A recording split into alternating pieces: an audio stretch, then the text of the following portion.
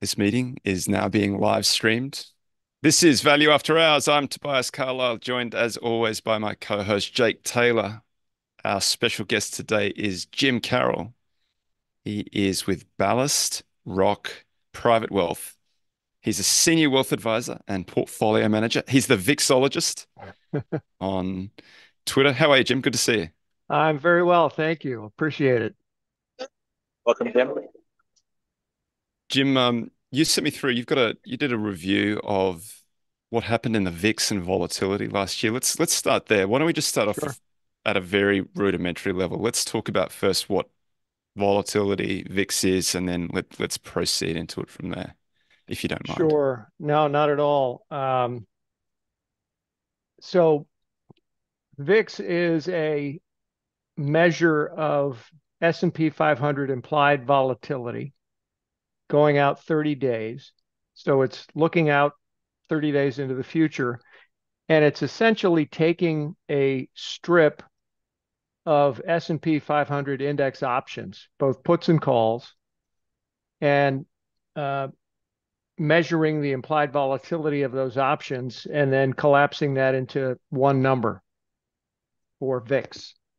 And you know the what what people um, colloquially colloquially know about VIX is that it is the fear index, right? VIX jumps when things get bad, um, and VIX tends to drop when things are calm.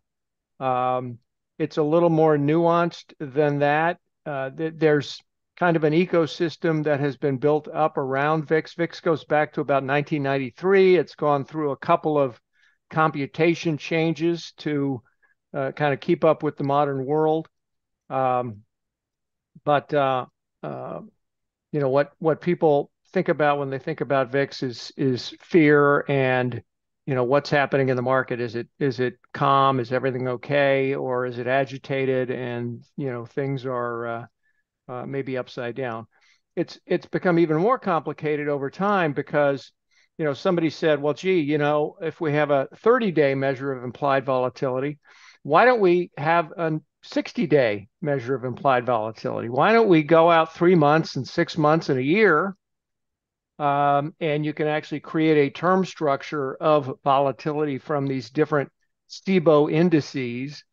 Um, and now we've gone all the way down to zero because obviously zero day to expiration options are, you know, all the rage these days.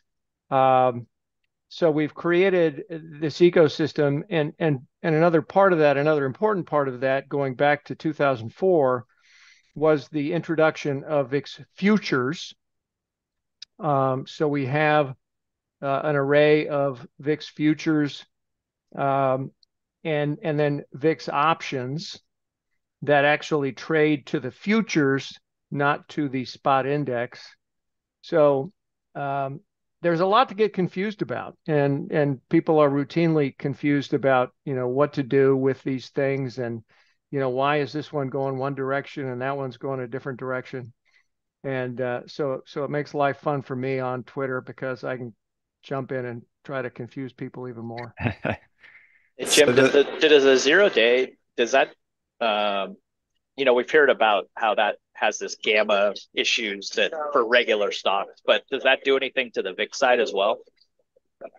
uh, well y- Like there's been a lot of hedging that, yeah there, there's been a lot of um, back and forth on that in the VIX world, you know, Vic Voltwit, if you will, um, because if you that think about it, uh, if if you're managing a portfolio, and one of the things you do is you use options to either hedge the portfolio, or maybe you know one of the hot topics these days is whether some people are out there using call options as stock replacement, right? I don't want to own in Nvidia anymore but I don't want to lose my exposure to it. So I'll sell my underlying stock, but I'm going to buy some call options. So if it keeps going, I can participate. Um, and with the, you know, you go back and there were monthly option expirations. And then they said, gee, well, if monthly's good, weekly's got to be better. And so, you know, the big indices got weekly options, and eventually some of the big single stocks got weekly options. Well, if weekly options are good, so then you had uh, every other day in S&P. And now we've got every day. So every day is a is a zero data expiration option opportunity.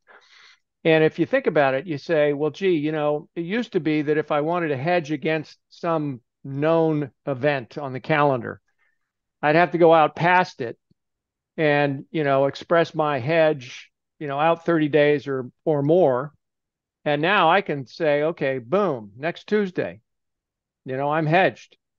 Uh, and so the question really becomes are some of these flows coming down into the shorter expiry periods? And is it sucking uh, activity out of you know the 30 day VIX calculation? You know is VIX broken? Oh, let's go through that again. Um, and and I would argue that you know VIX ain't broken. It's it's as you know either useful or useless as it's ever been um, the the options out there still trade. Uh, people still uh, use it as a you know measure of what's going on with implied volatility relative to realized volatility and relative to other things. Um, but clearly, the activity at the front end of the expiry structure uh, is is a different thing. It's a new thing, and uh, clearly, it's having impact really at least so far, more on a day-to-day basis than, you know, in in the bigger picture of where things are going to go three or six months from now. Because dealers obviously have to uh, be in the market. They they're buying and selling these things, and and you know if you listen to uh, the experts who are you know in the pits dealing with this stuff, the only way to hedge as a dealer, the only way to hedge zero DTE is with zero DTE. so they're so getting long or short based on they're, what they're they're they're getting long or short those options based on you know flows that are coming to them. Um, and uh, you know so one of the concerns was gee you know if the dealers are hedging against these options if if you go out to a 30 day option and a dealer sells you a call or sells you a put you know then they're short that exposure and they will go hedge themselves typically in the underlying, either in the futures or in the cash. And uh, so, you know, periodically there will be circumstances where there can be a big chunk of option that is going to expire, and the dealers need to unwind whatever their hedge was, and that can lead to either buying or selling of the underlying in a way that can potentially move the market.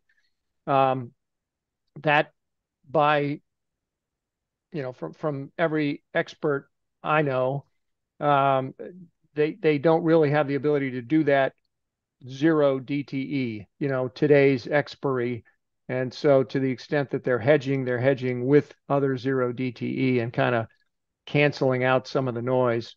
Although you know every once in a while we get one of these days where you look at the price action and you say, well. you know, I go back to the days when all that shit was happening on the floor of the New York Stock Exchange, and you know, you went to Joe and you traded with Joe. Well, obviously, Joe's been replaced by a computer because some of the price action you see these days is just inexplicable, except for algorithms, you know, trying to beat the crap out of each other. Do you feel like it's had any impact on the underlying prices, or is is, is the tail wagging the dog, or is it is that it hasn't been around for long enough. We're just looking at a market that's sort of done one thing since they've come in. You know, I, I, I yeah, we don't really know yet. Um, uh, I tend to believe that you know the derivative tail, uh, as it has gotten bigger and bigger and bigger. You know, I live in a part of the country where we have a lot of alligators around, and the one thing you don't ever want to do is get hit by the tail of an alligator you know, it's it it can be as destructive as their teeth. and uh, I can't help but believe that you know we're kind of creating uh, this this Frankenstein monster of option flows that you know, will wag the dog at some point in time. Uh, and and you know, if if you're hedging with zero, one, two, three, four date expiry options, and some tsunami comes in, you know, you got to get further out on the expiry on the term structure to hedge, you know, a, a big event. And so, you know, what some people are concerned about is that what we're going to see is whenever this unknown unknown becomes known, um, there's going to be, you know, a giant flood of action out to 30 days and three months and wh- whatever, you know, time frame people think they need in order to protect themselves. And you could see, you know, VIX and other measures of implied volatility just kind of go through the roof again. Let me just give a shout out to the listeners and then let's come back and talk about what happened in uh, volatility last year. So, Petah Tikva, Israel, what's up? Always first in the house. San Diego, Valparaiso, Nashville, Dead Cat Gully, New South Wales. You and me both, brother. Menomonee Falls, Wisconsin, Santa Monica, Castleford, England, Santo Domingo, Dominican Republic, at Milton Keynes, uh, Mosfellsbær, Iceland. Sorry. Oh, there's another one here. Some bangers in here, JT. Sound it out, Toby. Tromsø, Who are these people? Bangalore, India, Beverly, Netherlands, good one. Tallahassee, Kansas City, Kennesaw, Vancouver, Durham, London, Jupiter, Old Ocean, Harrington. What's up? Brandon, Mississippi. Jim, you said we were a little bit subdued last year in volatility You know, I I uh, I in your to it. presentation. Yeah, I referred to it in the presentation that the the title page uh, said nothing burger. Um, and you know, if you look back at what happened last year, um, once we got through the little March meltdown with the regional banks, with SVB and First Republic and such, um, there really just wasn't a lot going on, and you know, kind of dubbed it the year of no fear. Um, we had uh, VIX get back to levels that we hadn't seen since before COVID, right? So kind of uh, three plus year lows. Um, realized volatility in the S&P very low. Um, you know, some of the highlights, number of days that VIX was above 20, you know, was tiny compared to the last three years. We hadn't seen that kind of stuff since uh, 2019, really. Um, I think the S&P had plus or minus 2%, you know, twice last year. Uh, so there just really wasn't anything going on. One of the other things, um, you know, if you go back to 2022, which was a year when everybody was just really pissed off at the VIX, right? Because you had stocks going down, you had bonds going down, and hedges didn't work for a damn. Um, Yeah, what happened there? Like, what's what's your well, you know, if, diagnosis of if that? so, so let me put it as simply as possible, right? Um, if you have a straight line that goes from lower left to upper right, that's your perfect investment, and it has zero volatility. If you have a straight line that goes from upper left to lower right, you've lost all your money with zero volatility. And what really happened in 2022 was you had market moves that really were just kind of stepwise. And so you really never had the kind of uh, violence that would cause implied volatility to to jump. You, you you just had this steady grind lower, this low volatility demolishing the value of your portfolio, whether you own stocks or bonds. But you know, it was like, okay, every day we're going down one percent, and so where's the volatility? You know, VIX and and you know the vol instruments uh, don't behave well in those environments. Uh, you know, if you look at some of the tail hedge ETFs uh, that were out, um, I, I like to look at a couple of indices that the CBOE has. One is a put protection index, where you own the S&P and you and you're you know buying put protection. The other one is you own the S&P and you're buying VIX calls. And in 2022, those were terrible. They didn't do anything for you. You just were burning option premium. And in 2023, they really didn't do anything for you either. You know, you you we did have some declines in 2023 in the market, right, into the fall. Um, and but you know, again, the declines were of the nature where there just wasn't enough fear to cause those premiums to pay off. Jim, it seems like um, is the sort of implicit Fed put uh, seems like would be a pretty big finger on the scale of, of this. Like, I mean, everyone knows the Fed has their back. So, like, what do I need to like insure myself against? Like, the Fed will insure for me. Well, and and I think that's the attitude that a lot of people have is, you know, the, the Fed is going to, if we go back to Bernanke, you know, subprime is contained. uh, you know, the Fed is working to contain this, whether it's through the rescue of, you know, the, the uh, uh, regional banks back in the spring of last year, uh, whether it's uh, trying to walk the tightrope of, you know, what's next for interest rates um, lots of jawboning going on. Um, you know, we'll see. I think, you know, the market still thinks that the right path is for the Fed to cut rates. Um, it's looking less and less likely that, you know, we, we sure ain't going to get six this year.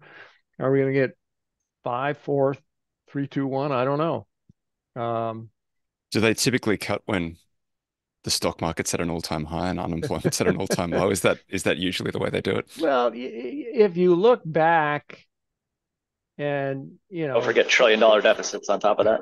Yeah, you know, if you look back in time, and obviously it's a small data sample because you know the Fed's only been around for hundred years or so, and um, but when the Fed cuts rates, it's typically because uh, the economy needs relief. And it tends to be too late for the stock market. Um, you know, if you go back to the global financial crisis, if you go back to, you know, the internet collapse, go back to any time the Fed has cut rates, you know, it's typically uh, in concert with the stock market going down. Uh, horses already left the barn. Yeah, the horses already left the barn, um, and and they're you know it's it's like if you look at a chart of you know Fed funds rate versus you know the two year or something like that. You know the the, the two year tells you what direction we're going in, and then the Fed catches up. Um, so you know all of these people hollering for the Fed to start cutting rates. You know it's it's one of those be careful you might not want what you're asking for. Um, because if the economy is strong, which it appears to be, uh, if inflation is not, you know, has if that dragon has not been slain, um, then they're going to conclude that they can't cut rates yet. Um, so, you know, higher for longer, at least in some form, uh, shouldn't surprise people, but you know, people like to be surprised, I guess. Often the term structure has some unusual characteristics about it. So I haven't looked for a little while, but historically, when there's an election coming up, there's often a little bump around the election. Is that the case this year? Uh, there's a huge bump uh, right now, actually. Let me see if I can pull it up. Um, yeah, October futures came on the board not that long ago. Right now, and October futures, October VIX futures you know, look out 30 days. So they're looking out beyond the November election. And right now, the September contract is quoted 1755, and the October contract is 20. Right. You know, so that's you know like a two and a half point premium uh, between September and October. So the VIX futures are saying something's going to happen, and it's going to you know cause some turmoil. Um, who knows, you know, what's baked into that, but uh, if you want to buy that kind of insurance, and you know VIX futures are, in in some respects, a, an insurance contract, uh, you got to pay up for it. Is 20 20 is about historical average? 20 is, you know, again, 20 is is relative to to 17 and a half, 20 is high. But in the in the you know, in terms of history, you know, 20 is not crazy. Um, right now, the front end is at about 14. You know, we've seen it lower. You go back to 2017, you know, when we saw spot VIX get below 10 a bunch of times. But that was, you know, the anomaly of our lifetimes, probably. Hold down the thunder, uh, Jim. Well, you know, look, I, it, n- nothing would please me more than to have 2017 come back again, uh, because um, uh, it was a good year. Let's just put it that way. How many times can we cut taxes? I, I can't talk. I can't talk about performance, but it was a good year um, to be a volatility trader. You you you just had to. Sorry. Go ahead, Jake. Uh, something I've wondered about with the the tail risk products. I find the math actually rather compelling as far as the limiting your downside, the variance, that variance drain as you fall off the cliff, um, and how hard it is to get back once you do. Um, and then the you know Shannon's demon arguments, all those things. Like I think it's like it's very compelling. But what I always it's a little hard for me to wrap my mind around is when you're buying the premium for it, like you're paying this premium, like why wouldn't that be so expensive as to basically neutralize the uh, like how I guess I'm I'm asking like how properly priced are the premiums uh, in in the insurance uh, world? Well, they're they're you know it's it's a uh, it's really kind of a seller's market, um, and so you know uh, I I think the easiest way to uh, gauge the challenges associated with you know, a tail hedging strategy is to just pull up a chart of VXX um, and watch it go from upper left to lower right, you know, and and uh, whether it's on a log scale or a regular, you know, it's just what what the heck? Why would anybody ever buy that thing? Um, and that's and that's free money basically for the other side. Well, it's it's free money to be short, except you know if you were short that, you know, uh, uh, going into you know any one of a number of episodes, the most recent being COVID, you know, you would have been carried out. Um, and so, you know, I've always found it a little um, confusing, is a polite word, uh, that folks in my little pond of volatility traders tend to be on one side or the other, you know, short vol or long vol. Um, and, you know, short vol is picking up, you know, dimes in front of the steamroller and, you know, uh, you're going to get killed in Volmageddon or, you know, um, and long vol, you're just going to bleed to death before you ever get paid. and uh, there obviously are folks out there who um, have spent time trying to figure out you know how you cut that bleed or how you can be short and avoid the catastrophe. Um, and you know and some of us are dumb enough to try to take both sides of the trade you know but nobody can time market so i must be an idiot. Um, but i i i do think that um, if you take kind of a short-term trader swing trader perspective with some of these instruments, which most people can't do. They either don't know how or don't have the uh, uh, the constitution or or the focus. um, but I think you know uh, there are some ways to play both sides, and I think playing both sides in some fashion is the only way that you have a chance to get the long exposure when you need it without bleeding to death. That, you've got to you you've got to take both sides somehow.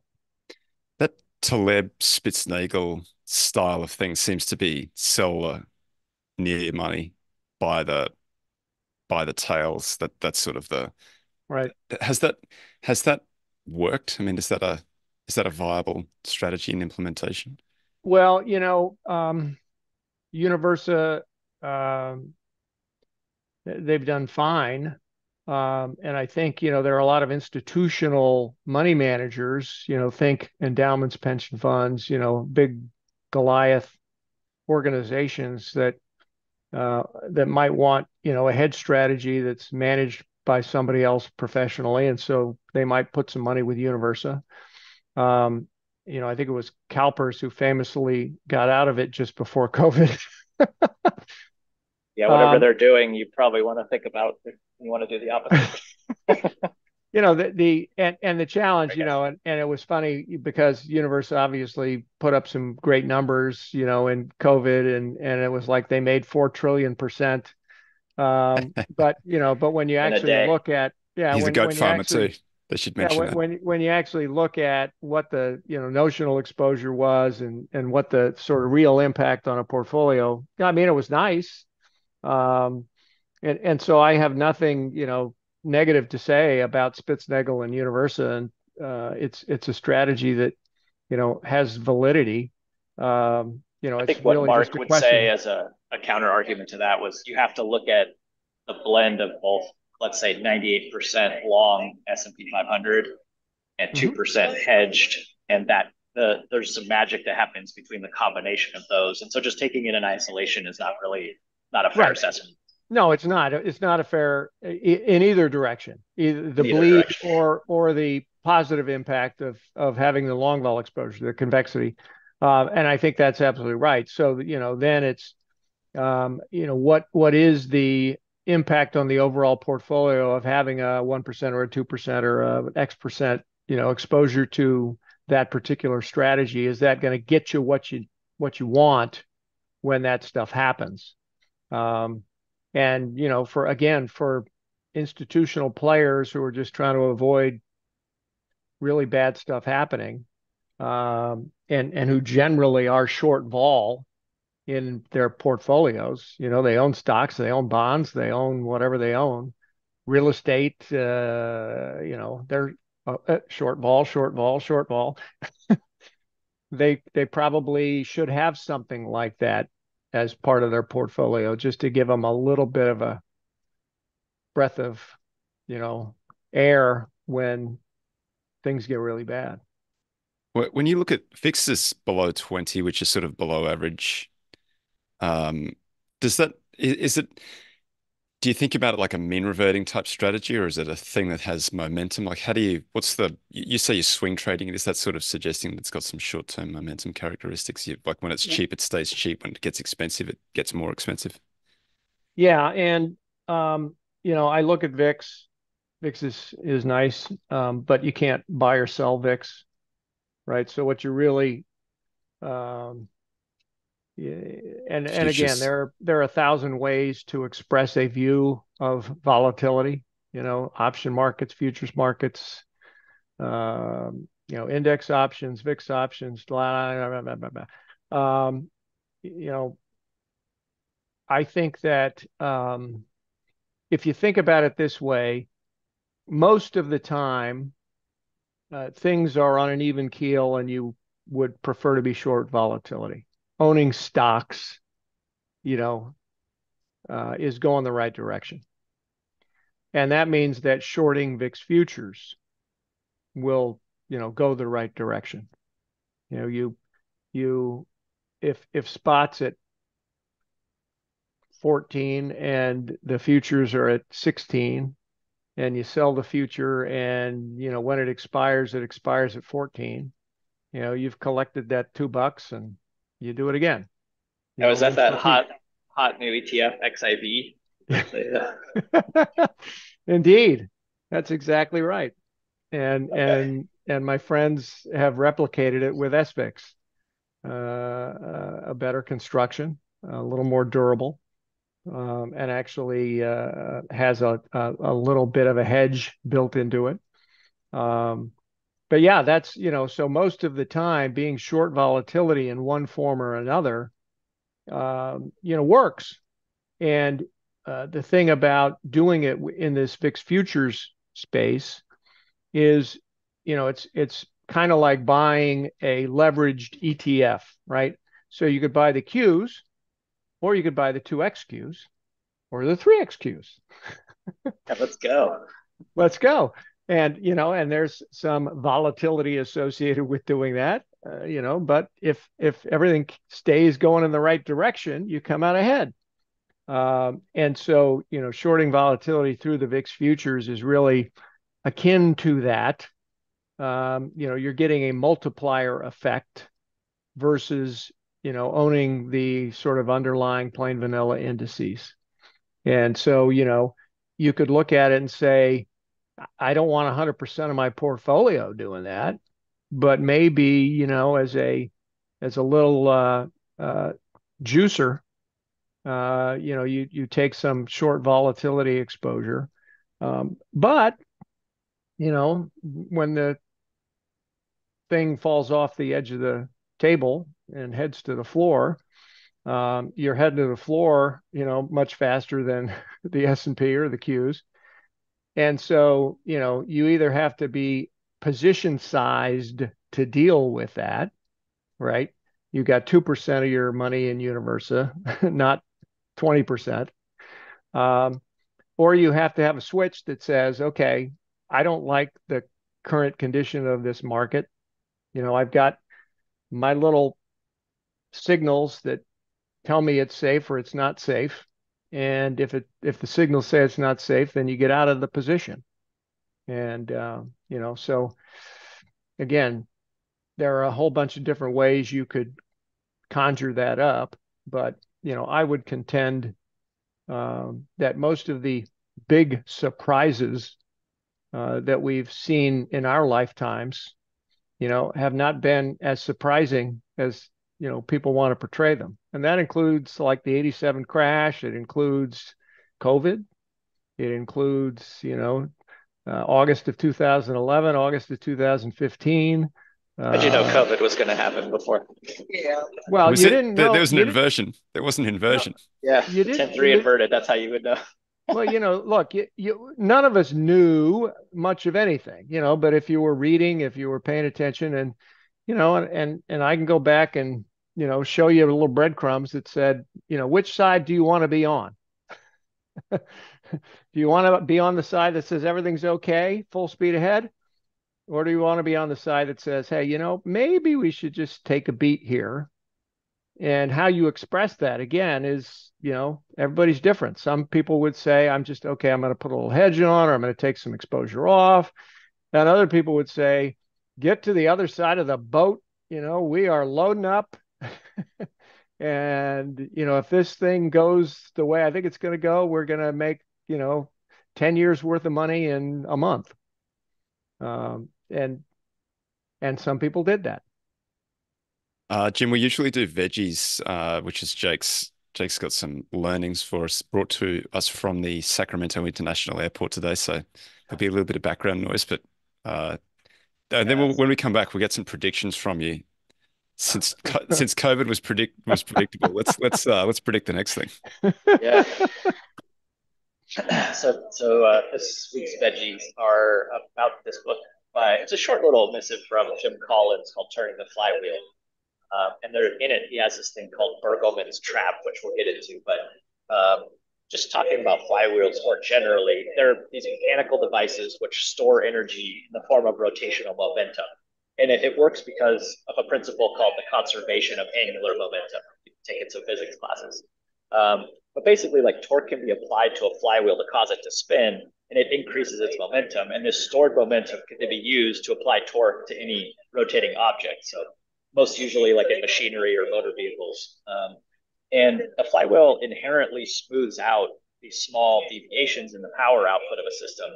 Uh, so the, the stored energy inside of it can like donate if there's a drop in the power input and conversely, it'll it can absorb excess power that that's being generated um, in the form of rotational energy. So, uh, interesting that ones made out of steel are generally limited to a max rate of a few thousand RPMs, uh, but they have these high energy density flywheels that are they're made of carbon fiber composites and actually use like magnetic bearings, less friction, and uh, it allows them to revolve at speeds up to 60,000 RPMs, which is kind of cool. Um, I mean, flywheels have been around forever in the form of like spindles and potter's wheels. Um, you know, 3,500 years ago, um, or sorry, 3,500 BC, uh, they had rudimentary potter's wheels. Um, so this this idea of like moment of inertia is another physics term, and it plays the same role as kind of in rotational kinetics as as like mass plays in a linear uh, world. So they both characterize a resistance to change, right? Like it, it's resisting you doing something to it. Um, sometimes you want a high moment of inertia. Um, so, like for instance, a tightrope walker, they use this long rod as a balance, and it's because it has a very high moment of inertia. Like it, it takes a lot of energy to like make it move rotationally, and so then it provides this. It resists rotation, which gives the walker balance, and that's why they're able to like kind of keep their balance better as they're walking across the tightrope. Sometimes you want a low moment of inertia, and if, to improve maneuverability, combat aircraft are designed to have to minimize their moment of inertia. This is what a lot of the work of like John Boyd was centered on. Um, and I know Toby, you sent me some stuff on that, which is really interesting. Um, so back to this book about flywheels in the business context, um, and and Collins is is saying that like basically every good business has some flywheel to it that that gathers momentum as it's spinning as it as the business gets spun up um, and what he calls like strategic compounding. Um, and so, of course, like Amazon is kind of like everyone has heard this one is probably the most widely discussed, but here's a rough sketch of Amazon's flywheel. You start with lower prices on more offerings, which then increases customer visits, which then attracts more third party sellers, which then expands the store's offerings, which then grows revenue per fixed cost, which then allows them to lower prices, and then we start the whole flywheel over again. So you're you're feeding energy into each one of these things, each component, and it's getting this spinning faster and faster.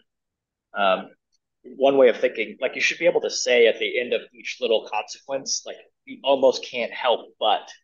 Um, so, for instance, like Vanguard has a flywheel that they've been turning now for almost 50 years. They offer low cost mutual funds, which you almost can't help but deliver good long term returns, which you almost can't help but build customer loyalty, which you almost can't help but grow AUM, which you almost can't help but create economies of scale, which you almost can't help but lower costs, right? So we're back up to the top of the flywheel again. And so this thing just spinning. Um, and so companies that have survived for a long time often have to discover new new flywheels to build along with the ones that they have going. Um, of course, everyone knows Amazon and, and going having both AWS and retail operations. Uh, but there's lots of other examples like 3M they added adhesives like scotch tape to their abrasives like sandpaper. Uh, Apple PC to the iPhone. Um, Merck actually started out as a chemical company and ended up going into pharmaceuticals. Uh, Disney started with animated films, ended up in theme parks and merchandise. And then maybe one that's interesting, a lot of people haven't heard, but like Circuit City, which was sort of like a poster child for bankruptcy and you know a shitty business uh, eventually. Um, they actually created CarMax before going bust, and they applied all the same things that they understood about Circuit City to to selling cars, and that's where CarMax evolved from. Um, so this brings us into what I teased at the beginning, this thing called Burgelman's trap. And Robert Burgelman was a Stanford business school professor, and he observed that the greatest danger in business and life lies not in outright failure, but in achieving success without understanding why you were successful in the first place. Right. So if you're kind of right for the wrong reasons, that's like the worst case scenario. Um, and it's quite likely that if you can't explain the flywheel of a company that you believe is a superior business that you're investing in, you, you might not understand it well enough to, to consider it within your certain competence, and you're therefore following into Burgelman's trap. So, um, little section on on flywheels that you can look for, and uh, hopefully helps deepen your understanding a little bit of like why some businesses are are grow to be so dominant. Oh, that was brilliant. Thank you.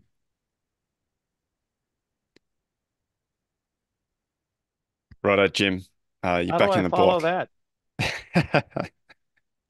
Very easily. We're going to do some predictions now. What, when you Yeah. when you I, look I've out, got now I've got flywheels in my head the rest of the day. I got to look for my flywheel. when you look out at the uh, the vol, or just generally, what do you what do you see? What what does it look like to you now? So I think the um, you know I, I think about all the stuff that could have an impact on markets. Um, you know, we've we've been at, had this war in Ukraine for two years now. Um, we've got you know international intrigue in the Middle East and the Far East, and uh, this election coming up.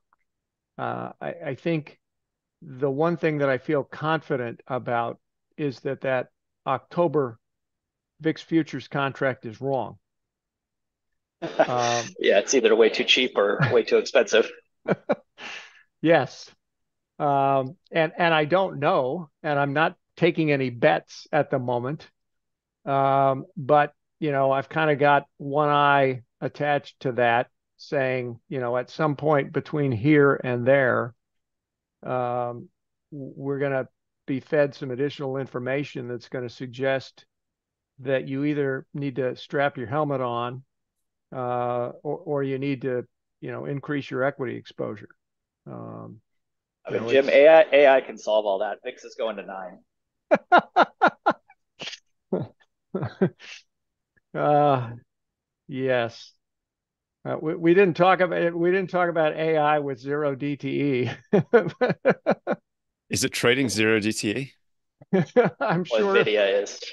I, I, you know, look, we've we've got algorithmic trading, you know, doing everything, uh, and and I keep getting pitched, you know, on how algorithms are going to solve all my problems. Um, but uh, I, I, uh, I uh, subscribe to one of Jim O'Shaughnessy's favorite views, which is that the last frontier of arbitrage is human misbehavior.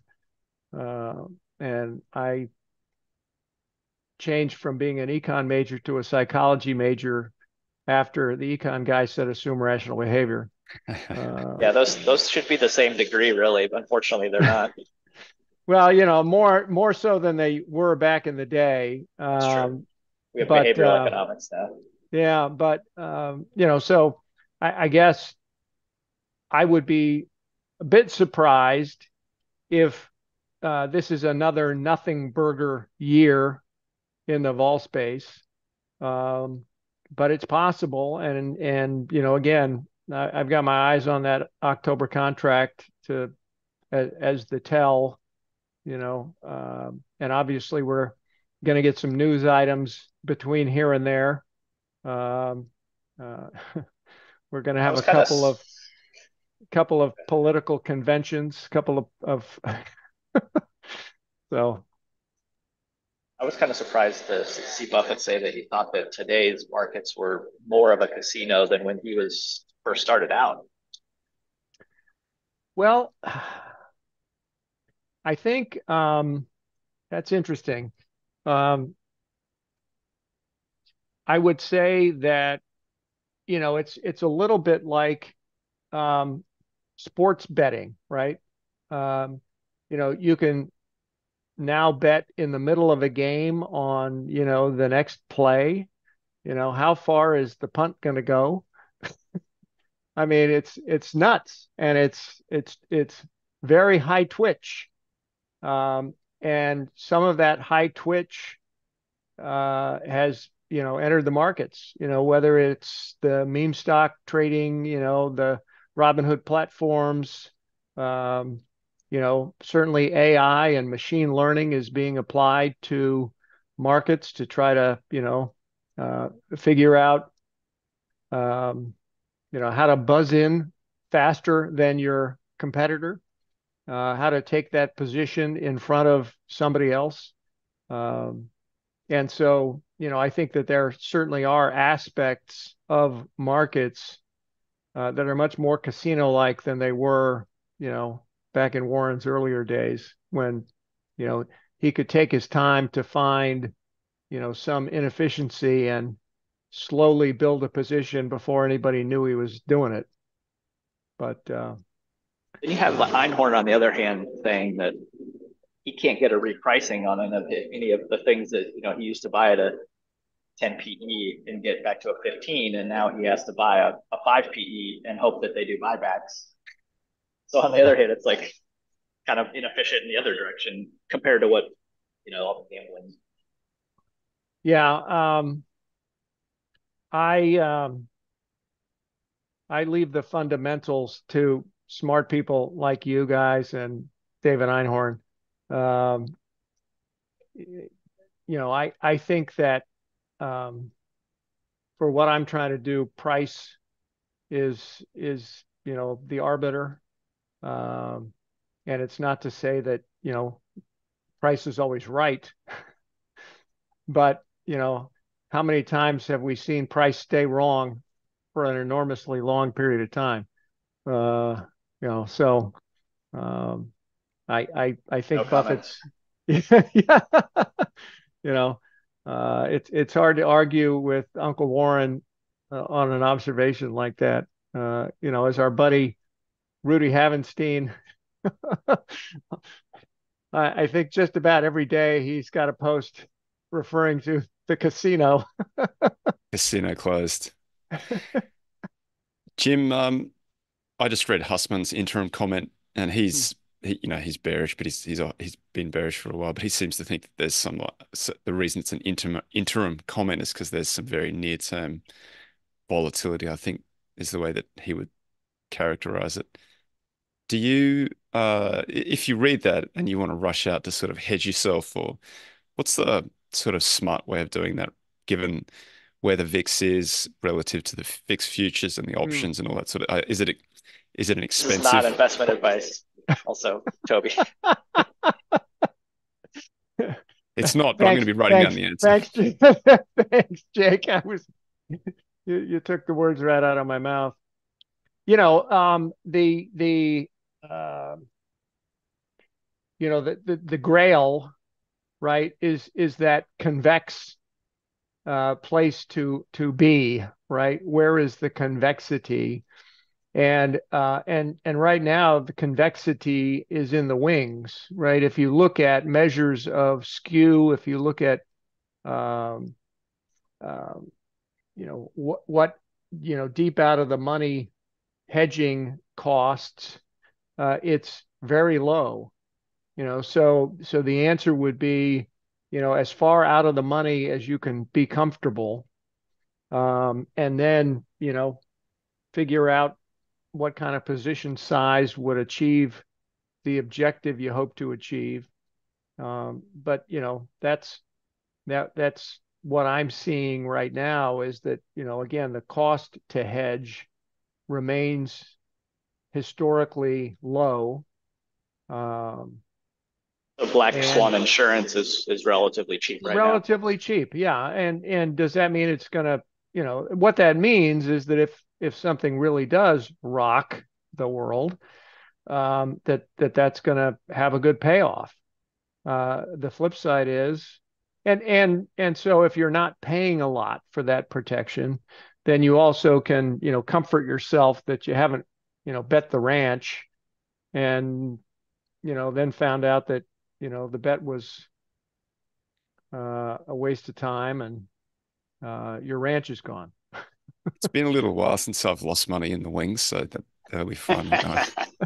I go and yeah, throw some money away there. One, one more time for, for old time's time. sake. I used Jake and I used to keep each other going when we were buying tail insurance and it wasn't getting paid off. We egged each other on. Thank God that finally finished. Well, never you got, know, look, didn't ever get paid.